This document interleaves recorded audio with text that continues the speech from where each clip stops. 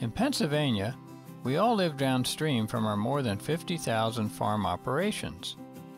Many of these are livestock farms, a foundational part of the Pennsylvania agriculture economy. Of course, where there is livestock, there is lots of manure. Manure has valuable components and nutrients that are important for reducing the costs of farming, but only if it's used at the right time and when plants need it.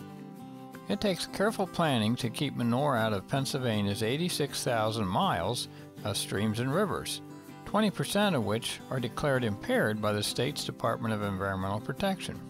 The good news is that many farmers are already doing this by implementing a detailed manure management plan that is made possible by an on-farm manure storage facility. A storage facility prevents accidental manure runoff and allows farmers to wait for the precise growing time and weather conditions to apply manure. It can even function as a fuel source to power the farm itself. Michael Brubaker of Mount Joy has been storing manure for his whole career, a practice he inherited from his father. As the years passed, we were able to build manure storages, like the one behind me. And uh, we have, at different locations on the farm, we have places to contain the manure until it is a proper time to uh, spread it on our fields. Vernon Heisey raises 30 dairy cattle in Manheim, Pennsylvania, and built a small storage tank after a local blizzard. We only had like two feet or something here in blizzard 20 times. It just blew and blew and blew. It blew when it snowed and it blew for a week after it snowed. And it was just, you go out and make tracks to try to haul the manure and, and, uh, and they got blown shut to you ever got out in the tracks and got stuck and it was a mess. And I thought, well, there's got to be a better way. There are many challenges of hauling and spreading manure in the winter, including hauling through the snow. Without a manure storage structure, a farmer like Vernon would have to spread his manure every day, even when the weather is bad and can cause the manure to flow into our streams. Manure storage structures are designed with very specific engineering standards for maximum environmental protection. Some small and relatively simple like Vernon's. Uh, the manure storage I have here uh, have a, a 12 by 64 round concrete in-ground storage we installed in 2014. Uh, also have a reception pit behind us we installed at the same time that I collect the manure in and pump it across the ram pump into the storage. Uh, I hold it several days in the reception pit and then gets pumped across into the storage. Other manure storage systems can be very large and complex, like Michael's 6 million gallon manure lagoon.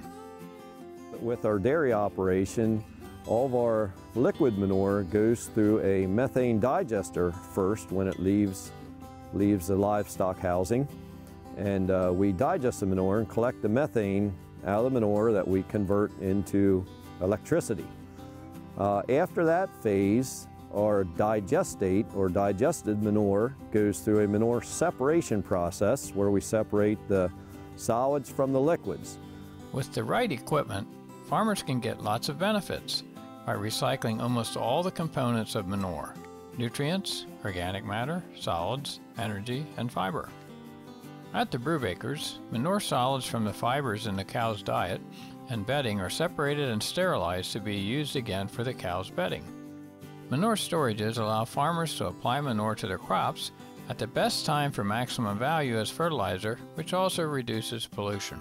When you have a large manure storage structure like the one behind me, it allows, it allows our farm to accumulate enough nutrients so that we can try to time things perfectly as far as field application.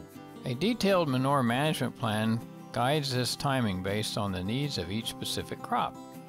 These plans calculate the proper amount of manure to apply and the right time to do it. Storage and timely application of manure to crops can reduce the risk of manure ending up in the streams and rivers. Protecting waterways is one of Mike Brubaker's favorite aspects of manure storage.